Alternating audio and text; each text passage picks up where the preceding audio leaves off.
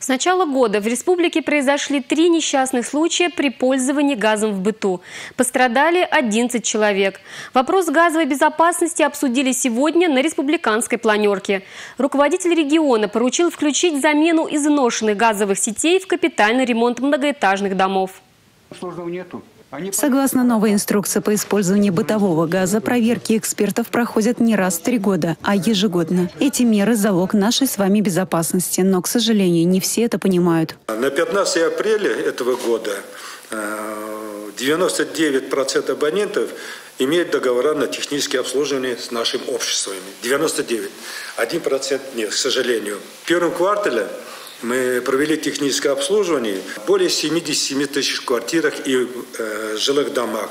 Зарегистрировали и выполнили заявку на замену, на ремонт газового оборудования 1589.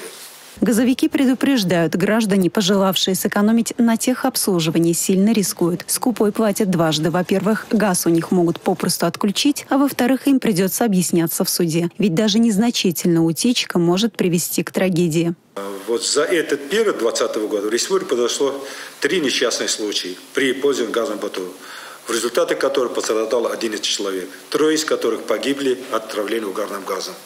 Это первый случай смертельного отравления двух человек. Временно исполняющий обязанности главы Чуваша Олег Николаев отметил, что вопрос безопасности газообеспечения необходимо включить в программу капитального ремонта домов и замену внутридымового газового оборудования. Я в целом такой подход поддерживаю, поэтому Минстрою поручаю проработать этот вопрос э, на предмет э, включения этих объектов э, в программу капитального ремонта. То есть, если дом ставится уже на капитальный ремонт, чтобы смотрели и эту составляющую тоже чтобы к нам, нам уже к этому дому не возвращаться в последующем.